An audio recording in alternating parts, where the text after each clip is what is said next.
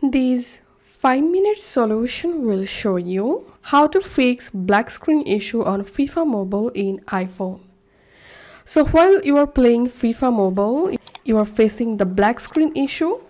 Follow these easy steps to fix this issue.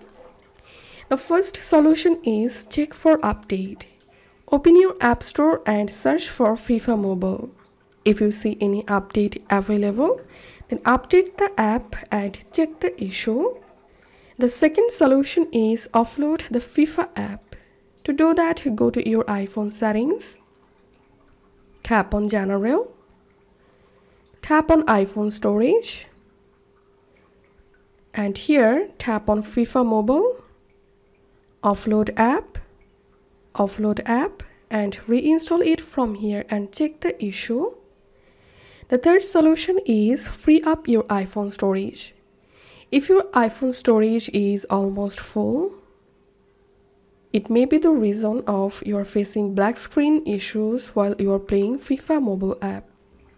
So all you have to need is just uninstall or delete unnecessary apps and files from your iPhone to free up your storage and then check the issue. The last solution is give a simple restart. Sometimes restarting your iPhone can fix this kind of issues. So restart your iPhone and try to relaunch your FIFA mobile app and it should fix the issue. If you find this video helpful, don't forget to subscribe 5 minute solution. See you in the next video.